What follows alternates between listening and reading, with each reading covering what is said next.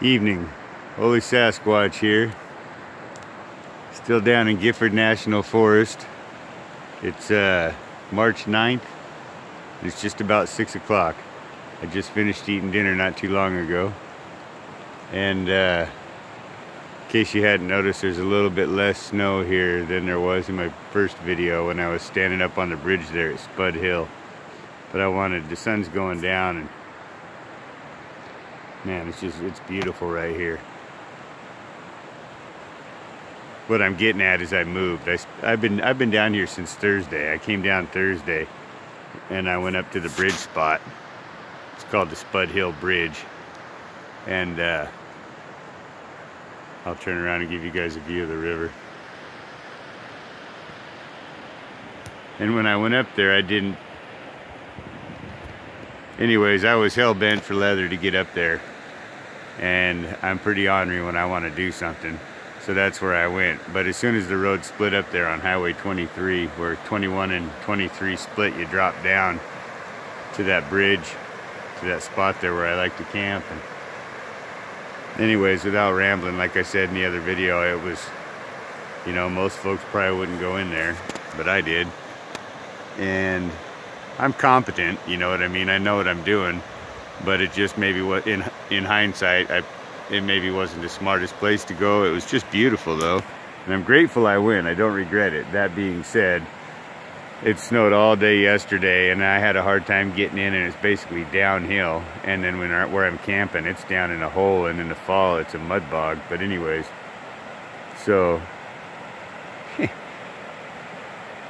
it's after it snowed all day yesterday, I guess is what I'm getting at. I, I decided one way or another I'm getting the heck out of there today, this morning. So I was up at 8 o'clock. I mean, I, I didn't sleep for shit all night long. I was stressed out a little bit. You know, it's one thing if you if you get into a position where, you know, things aren't too comfortable or aren't too good and there's a chance, you know, that the roads may really suck. But I don't want to be that guy. I'll come back to that in a minute. So anyways, I was up early, had my shit packed ASAP, and uh, to be honest, I was down at this spot here by 10.30. This is my what I call my original spot. Quite a few people come here. I'm gonna turn back around for the sunset just a sec. So yeah, by 10.30 I was back down here at my original spot and Spud Hill's up at, at two, it's 2,000 feet and it's supposed to be like 18 degrees tonight and I don't know so that's gonna be pretty chilly one way or the other and I'd just soon be down here a little bit and out of the freaking snow. That wasn't bad. I wasn't like freezing or anything. I, I slept all right when I did sleep but anyways it's prudent to come down. So with humility and grace I loaded up my stuff and I came back down here. I'm gonna turn back around just a sec. I, let me digress here. When I was back up here in January, I was I camp year round. I don't care, man. Cold weather or not, give me the snow. Although the past two nights was too damn much snow, and there's going to be more. I'm walking back to my camp. So, anyways, back in January, I was up there camping at the bridge and uh, it had snowed quite a bit but this is one of the first snows of the season you know so the the roads were bad but they weren't real bad not like they were this time. And uh, I don't want to make a long story here.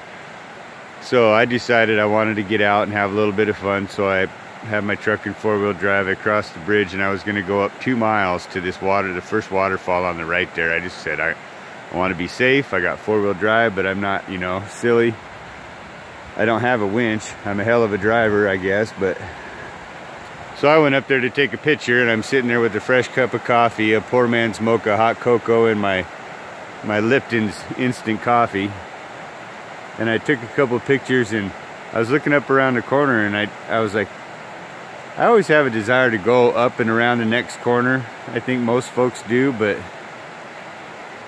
I'm like, no way, man, it's snowing. I just came up here to take a picture and I ain't trying to get stuck. That's what I'm thinking to myself. And something just kept telling me, you got to go around the corner, get up there.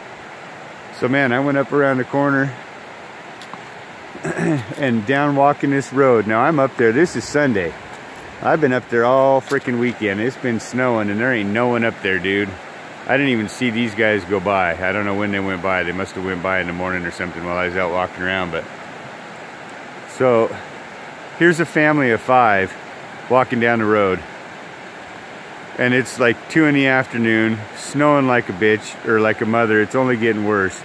And here, and these guys are soaking wet and long, uh, to kind of wrap this up, I'm gonna run out of time maybe on my run here, but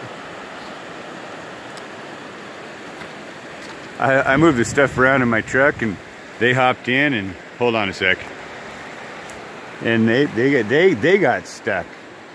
And so long to wrap the story up, I rearranged my truck. They all piled in and I drove them all the way down into Randle so they could get help and get warm and all that stuff. So I just didn't want to be that guy, you know, because I'm by myself and not too many people are funny enough or determined enough to come up to a place, you know, in the wintertime. And it, so I just didn't want to get stuck, that's all.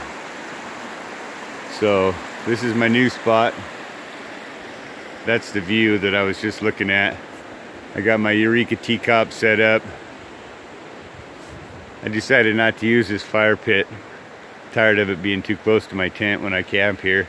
So I made this one and I made it right. I went and got sand from down by the river and made a good bottom and everything. And it's just off this old road grade rock, so. But now I got the super setup right here. Blocks the wind that comes off this river because it's cold down here in the wintertime with that wind off this river. So, anyways, Saturday evening, I plan on making some videos tomorrow.